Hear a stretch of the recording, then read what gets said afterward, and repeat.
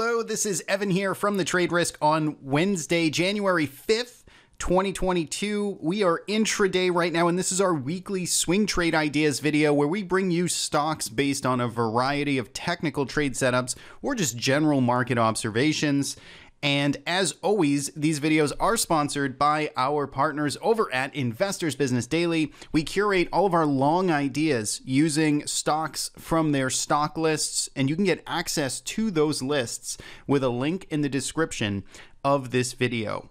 So we've got a couple of things going on here. We've got obviously the turn of the new year, and we've got some interesting market flows and dynamics I want to talk about. And right before I hit record, we're also getting a little bit of pickup in selling volume here across the indices. I'm recording this a couple of hours before the market closes. So let's take a look at a couple of things. First, that I wanted to mention was some of the similarities between how we're starting off this year and how we actually started off the year last year in 2021.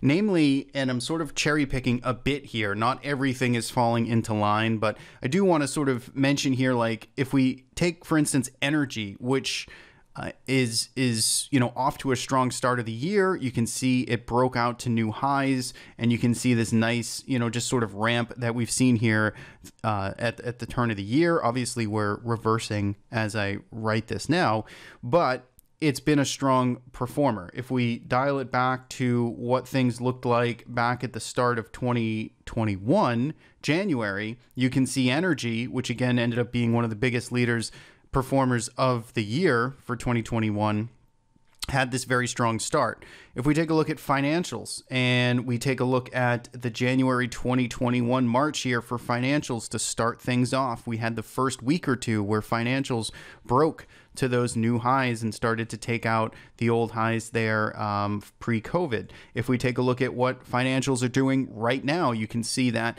we've got this nice run that started to lead this market higher, trying to take out those highs. Again, maybe some turbulence right now as I record this. Let's take things from the flip side. Let's take a look at technology. Technology to start off this year has has been the underperformer. In fact, it's primarily what's getting sold off right now you can see that we're on this downward slope to start the year. And if we take a look at January of 2021, you can see that technology, same thing, was pretty much down to sideways here to start our, start off the new year, and therefore was not performing, was not leading. You can also take a look at TLT and you can see at interest rates and what credit markets and the bond market was doing. If we take a look at what we're looking at here to start off the year, you can see this big selling pressure and we're going down. If we take a look at January of 2021, you can see that we started a fresh leg lower here to start off the year as well. So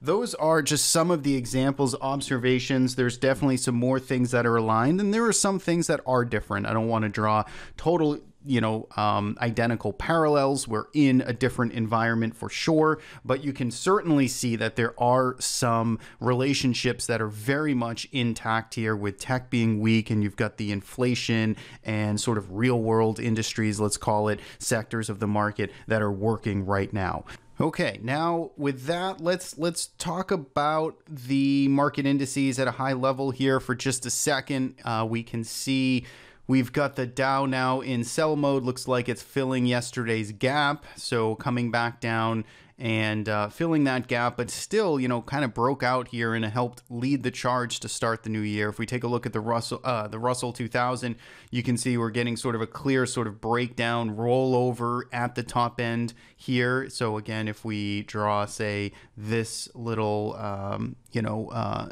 level here that the market has been kind of consolidating, flagging above. You can see we're starting to break down right now. You can see the S&P 500 coming back down to around 472, and you've got the Qs, which again is that tech side, and now breaking back down, falling comfortably back into this old range that it's basically been in since the start of November. So the Qs here underperforming structurally. You know, if you want to zoom out and give it enough time, it's consolidating at highs, a little bit volatile, a little bit more messy, but you know, um, still just kind of hanging in this same range that we've been looking at.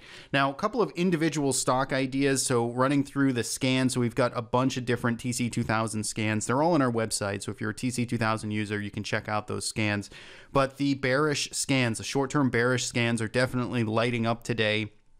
So I wanted to bring a few of those ideas to you on um, what's showing up. First is UAA. Uh, this is really a, a sort of you know, uh, perfect looking kind of breakdown here of what could be this bear flag.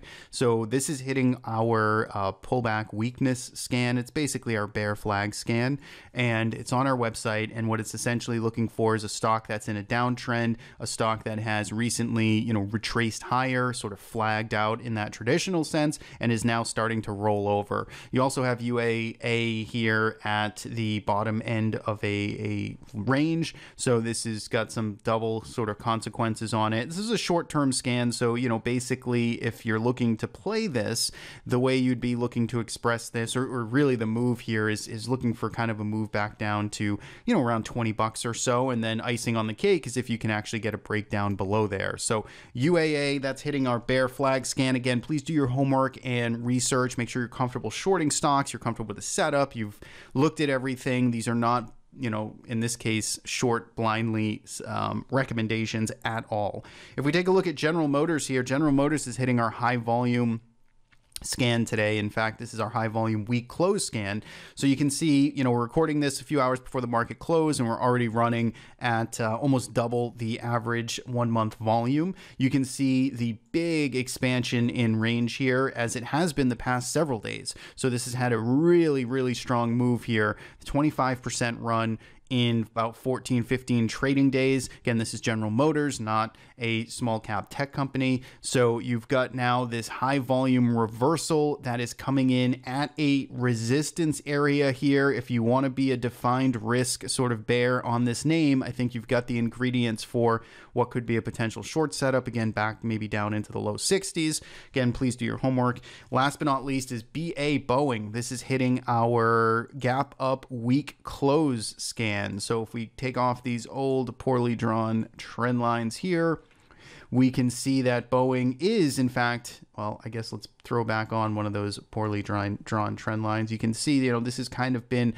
where this has been grinding lower lows, lower highs over the past 10 months, eight months or so. And you can see now we've had this nice move off of the lows. We're back up towards sort of this resistance area where the stock has found sellers. And now you can see it, it opened up high, tried to push higher, and is now reversing lower. So you've got a stock in a downtrend. It's worked off those. Um, oversold conditions over the past couple of weeks and now it's reversing at a sort of more favorable point so again this is a shorter term tactical bearish scan gap up weak close that's what it's called on our website if you're looking for it and those are your three bearish tactical trade ideas for this week. So that's what I've got. Those are some thoughts on the midweek market action. Let me know what your thoughts are. Let me know about what you're seeing out there. Leave a comment. Love to read them. As always, I want to thank you for tuning in and watching every Wednesday. Trade ideas just like this. Don't forget to check out those stock lists in the description of our video